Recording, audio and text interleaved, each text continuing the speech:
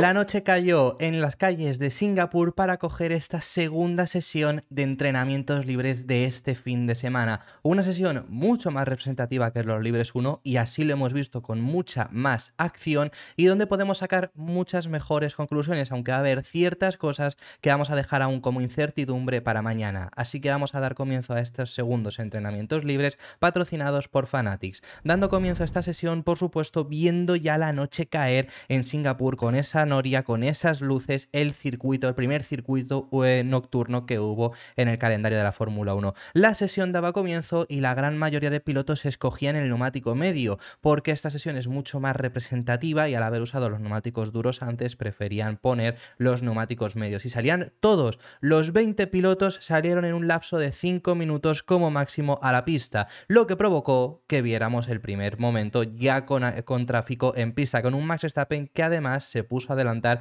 en este momento es para comenzar vuelta. Además, sobre todo esta imagen ya la estamos viendo, aquí lo vemos a Verstappen cómo se pone en paralelo con el Ferrari, fijaros dónde estaba antes en comparación con él, pero además también la hemos puesto sobre todo para que veáis los neumáticos medios que la gran mayoría llegaban y también llegaban esos chispazos que empezaba a dar en este, en este caso Carlos Sainz al empezar a rodar sus vueltas ya rápidas. Por supuesto todavía son vueltas muy lejanas a los mejores tiempos, pero Carlos Sainz era el primero en marcar la vuelta más rápida vemos ahí superando a Checo, superando a Alonso, superando a muchos pilotos, poniéndose en esa primera posición ya desde los primeros minutos. Pero bueno, que los tiempos iban mejorándose y vemos ahí ahora mismo a un Alonso ponerse primero también los tiempos iban bajando porque todavía estábamos en momentos muy tempranos. También nuevamente Carlos Sainz venía marcando morado en el primer y en el segundo y tercer sector y se ponía en primera posición. Vemos a Leclerc marcando morado en el primero, amarillo en el segundo, efectivamente en el tercero, pese a mejorar también su vuelta personal,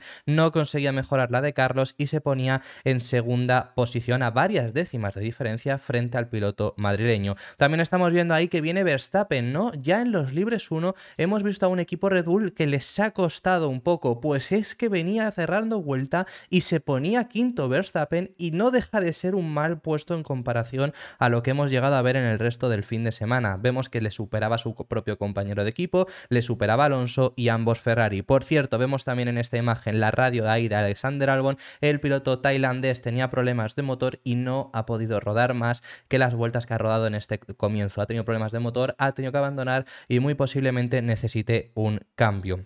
Vemos a Luis Hamilton también cerrar vuelta, sobre todo poniéndose por delante de Max Verstappen, tampoco nada espectacular. La realización se fijaba también en ese aleta del alerón, que en esa aleta del difusor que ya os hemos contado que lleva Aston Martin este fin de semana. Todo esto ya os lo hemos contado en el canal y ya llegaba momento de ir acabando los neumáticos medios con un Charles Leclerc que volaba marcando morado en los dos en los tres sectores y poniéndose en esa primera posición. Fue de los últimos pilotos que llegó a cerrar vuelta con esos neumáticos medios que todos empezaron a meterse en boxes ya cumplidos los primeros 20 minutos, empezando a pensar ya en el momento de los neumáticos blandos. Momento de simulación y efectivamente ya estáis viendo ahí en esa imagen, en ese recuadro pequeñito en la onboard de Alonso poniendo ya los neumáticos rojos. El resto de equipos también se empezaban a preparar y llegaba el momento de las simulaciones de clasificación, que vemos a un Fernando Alonso cerrando vuelta por detrás de los Ferrari en ese tercer lugar. Los Ferrari que seguían primeros nuevamente con Carlos Sainz en primer lugar. Y ya estábamos en ese momento de simulación de clasificación y veíamos a ciertos pilotos acercándose muchísimo al muro, como el propio Lance Stroll,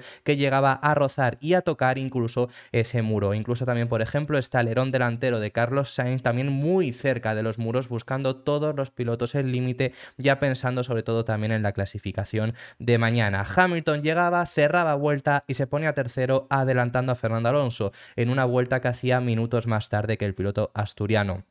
Todavía no tenemos a los Red Bull y si os fijáis en esta imagen ya pone Verstappen Outlap que está saliendo con ese neumático blando, mientras que Checo todavía esperaba un poco más había muchas expectativas puestas. ¿Qué iba a hacer Max Verstappen? Pues no conseguía mejorar. Se ponía sexto, solo mejorando a Lando Norris a siete décimas de diferencia de los Ferrari. Estaba muy lejos, pese a haber hecho la vuelta más tarde que ellos. Es que además llegaba Alonso segundos después y se ponía en tercer lugar, adelantando a Luis Hamilton. También viene Norris cerrando vuelta, pero no conseguía llegar a mejorar. Y en este punto, si os fijáis, ya no pone la P de que está en boxes eh, Sergio Pérez. Eso es porque en este este momento también está cerrando vuelta, pero tampoco llegaba a mejorar, incluso quedando por detrás de su compañero de equipo. Si os fijáis en la tabla de tiempos en esta imagen, eh, que queda octavo, y si os fijáis en el mensaje de radio, se quejaba de que en frenada no tenía nada de estabilidad y parecía siempre que se le iba a ir el monoplaza. Muchos problemas del Red Bull este fin de semana.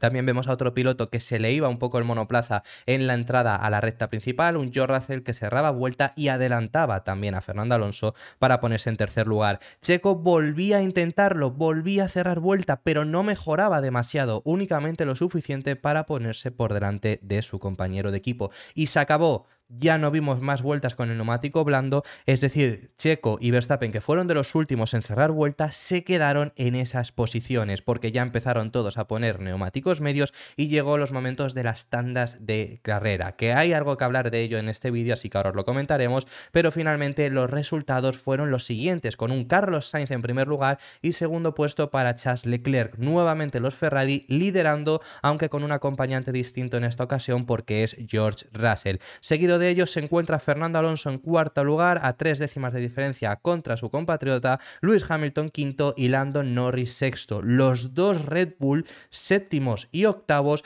que se quedan a más de seis décimas ambos haciendo vueltas más tarde que el resto. ¿Será esto verdad? ¿No será verdad? Ahora os vamos a dar algunas conclusiones. Noveno lugar para Kevin Magnussen y cerrando los diez primeros pilotos, Valtteri Bottas. Un décimo lugar para Nico Hulkenberg, décimo segundo para Liam Lawson, décimo tercero para Esteban Ocon, decimocuarto lugar para Lance Stroll, decimoquinto para Oscar Piastri, que sabemos que McLaren solo ha llevado las mejoras en el coche de Lando Norris, decimosexto para Yuki Tsunoda, decimoséptimo para Wang Yuzu, decimoctavo para el otro piloto de los Alpine, Pierre Gasly, y en las dos últimas posiciones Logan Sargent y Alexander Albon, que ya os hemos comentado que no ha llegado apenas a rodar.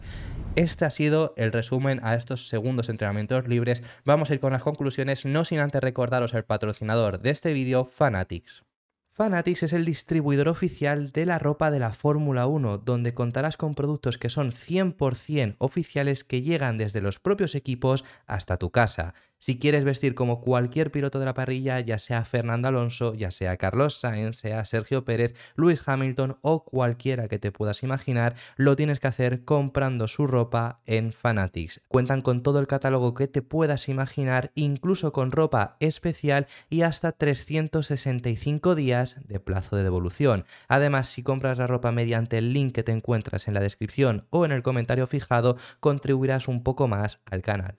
Hay muchas cosas que sacaros de conclusión y por supuesto estos son entrenamientos libres. Todo lo que digamos lo cogemos con pinzas porque desde luego que puede luego ser eh, luego puede llegar a cambiar el trabajo que hagan esta noche, desde luego que puede llegar a influir, pero hay ciertas cosas que comentaros. Para empezar, como siempre hacemos, os ponemos más o menos la estándar, las estrategias, los planes de que han estado llevando los equipos para esta sesión. Como estáis viendo, la gran mayoría medio, luego el blando y luego medio. Por ejemplo, en el caso de Norris ha usado el duro, luego ha puesto ya el neumático blando y luego nuevamente ese mismo duro, pero eso ha sido porque Norris había usado los medios anteriormente. También vemos lo mismo en el caso de Bottas, en el caso de Ocon, es únicamente esa la diferencia que ha marcado del hecho de por qué vemos algunos neumáticos duros en vez del lugar de neumáticos medios.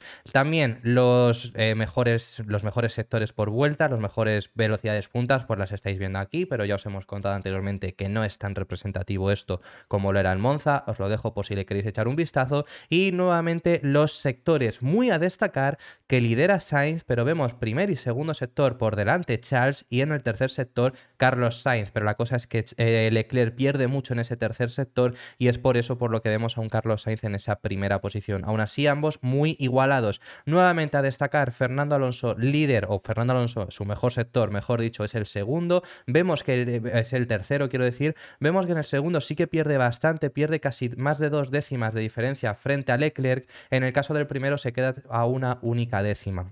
Debería de ser mejor el segundo sector de Aston Martin, es decir, mañana quizá podemos llegar a verle mejorar un poco más, pero sobre todo donde están sacando ese tiempo es en el tercero, que es donde además hemos perdido una parte de velocidad lenta, que es donde mejor eh, le hubiera ido también a Fernando Alonso. Estos son más o menos los sectores, si le queréis echar también un vistazo, pero sobre todo ya también muy a destacar dónde se encuentran los Red Bull. Y esto sí que no sé yo cómo comérmelo porque el primer sector está muy mal y el primer sector es el mejor de Red Bull casi. Red Bull debería de ir mejor en todo el circuito de lo que estamos viendo, pero el primer sector sí que están yendo bastante lento, están perdiendo más de tres décimas de diferencia frente a Leclerc y es donde de mejor deberían de haber rendido. Así que bueno, estos son los datos que siempre solemos dar. Conclusiones, Ferrari van muy bien, por lo menos por lo que se han mostrado en ambas sesiones de entrenamientos libres, se han mostrado muy fuertes, muy rápidos y consiguiendo un ritmo muy bueno, pese a que ellos mismos nos lleven diciendo una semana que no esperaban grandes cosas este fin de semana y lo hemos podido ver con un Leclerc liderando los libres 1 y un Sainz liderando los segundos entrenamientos libres. Además, siempre muy fuerte y lo más destacable, les salen las vueltas fáciles. Esto es algo que siempre solemos destacar al equipo que le ocurre. En este caso, en este circuito, le está pasando a Ferrari. Le están saliendo las vueltas fáciles, salen y marcan la vuelta rápida y no necesitan hacer un segundo intento como algunos otros sí. Y esto, sobre sobre todo para la clasificación de mañana y sabiendo lo importante que son las clasificaciones aquí, va a ser crucial. Parece que por lo menos el SF23 a una vuelta es muy bueno. Tenemos que hablar de Fernando Alonso. Parece, después de los primeros entrenamientos libres, había gente que ya había tirado la toalla. Yo se estaba comentando que desde luego eran los primeros entrenamientos libres, poco representativos, y así mismo lo había hecho saber Pedro de la Rosa. Efectivamente, en estos segundos entrenamientos libres hemos visto a un Aston Martin y un, sobre todo, Alonso, porque Stroll sigue muy desaparecido, pero un Fernando muy competitivo, como se le espera, con facilidad. Y eso que aún así se ha quejado del agarre en frenada. Sigue faltando el agarre, es decir, eso es algo todavía de configuración que deben de pulir y en el momento en el que lo consigan pulir van a ir aún mejor, es decir, se muestran fuertes y lo mejor que han tenido ha sido el ritmo de carrera, porque el ritmo de clasificación ha sido bueno y lo hemos visto representado en los tiempos que ha quedado cuarto, mucho mejor que en los libres 1, pero el ritmo de carrera es muy bueno. Sabemos que la importancia aquí sobre todo es clasificación, porque si no tienes un buen puesto de clasificación no vas a conseguir prácticamente nada en carrera, pero ojo cuidado, el ritmo del Aston Martin es muy bueno, se ha mostrado en estos libres 2 que era la sesión más parecida a clasificación y carrera, y veremos mañana fuego real. Para que os hagáis una idea muy breve, esto lo tenemos que analizar más adelante en otros vídeos, pero os lo quiero poner, no lo vamos ni a comentar, simplemente os voy a poner la imagen de los tiempos por vuelta que ha habido en la tanda larga de neumáticos medios de final de, sesión de entrenamiento libres 2. Y estáis viendo quién es el piloto que generalmente tiene mejores tiempos, o sobre todo bastante parejos con los Ferrari. Yo no voy a comentar nada más, hay un piloto que además que va en azul, que pierde mucho tiempo frente a los rivales y un piloto que va de verde que por lo menos está muy fuerte. No lo vamos a comentar más como estoy comentando. En este caso, más cosas que decir. Los Red Bull irreconocibles, pero porque es que en los libres 1 más o menos ha parecido que estaban ahí, pero en los libres 2 la más representativa cuando Aston Martin ha empujado, cuando los Mercedes han empujado, cuando McLaren ha empujado, han desaparecido. Y no es que hayan desaparecido porque dices, oye, a lo mejor se están ocultando, es que no se estaban sintiendo cómodos, es que hemos visto un Verstappen sobreconduciendo, corrigiendo mucho, un checo quejarse mucho del monoplaza, irreconocible lo que hemos visto de los Red Bull este fin de semana. ¿Será que les ha perjudicado la nueva directiva técnica? ¿O será que este fin de semana se les va a dar peor? Porque esto puede llegar a ocurrir, por supuesto, porque ya nos hemos acostumbrado a que Red Bull rinda en todo tipo de circuitos, pero eso no es lo lógico. Puede llegar a ser cualquiera de las dos, como puede llegar a ser que mañana de repente, después del trabajo que hagan esta noche, consigan una mejor configuración y estén más ahí arriba. Tenemos que esperar, por supuesto, hasta el fuego real, pero lo que hemos visto hoy es que ni ritmo de clasificación ni ritmo de carrera, completamente irreconocibles ambos Red Bull. Además, destacar también, como dato, pero es que son los dos igual, han tenido los dos ambos problemas, Red Bull que lleva unas ligeras mejoras en el suelo del monoplaza, en los libres 1 las ha llevado Max, en los libres 2 las ha llegado Sergio, y en estos libres 2 aún así tampoco Checo ha tenido mejor rendimiento, ninguno de los dos ha mostrado fuerte, han tenido ambos muchos problemas, así que veremos mañana cómo podemos llegar a rendir. Por parte de Mercedes se muestran bien, se muestran contentos, se muestran eh, competitivos, veremos cómo son capaces de rendir también a fuego real. También sí que se les ha visto, yo ahí sí que destacaría que se les ve con más problemas de cerrar vueltas, es decir, han necesitado un par de, de intentos para conseguir la vuelta idónea, pero se les ve bien, se les ve competitivos, así que veremos qué es lo que pueden conseguir mañana. Por parte de Norris, que es el único piloto de los dos McLaren que lleva también las mejoras, se le ha visto bien, aunque más lejos de lo que se había visto en los libres 1, que se le había visto muy arriba. ¿Será esto así mañana? Desde luego que sobre todo la conclusión que podemos sacar es que Veo a Ferrari un paso por delante y luego Aston Martin, Mercedes y McLaren los veo bastante igualados. Y Red Bull no sé dónde decir cómo están porque yo creo que mañana deberíamos de verlos más arriba. Sobre todo en ritmo de carrera sí que destacaría también nuevamente a Aston Martin y estas han sido estas conclusiones breves de lo que hemos visto en estos segundos entrenamientos libres. Esto ha sido todo por hoy. Muchísimas gracias por haber llegado hasta el final del vídeo. Si te ha gustado dale un like y suscríbete que apoyarás muchísimo y te recuerdo también que tienes activa la opción de miembros por si quieres apoyar un poco más el canal. También te recuerdo que si quieres merchandising de la Fórmula 1 oficial, puedes encontrarlo mediante el enlace que te dejaré en el comentario fijado y en la descripción, donde tendrás además un 30% de descuento todo este fin de semana en Singapur. Y ahora sí, habiéndoos dicho todo esto, muchísimas gracias por haber llegado hasta este punto y nos veremos en el siguiente vídeo. Un saludo.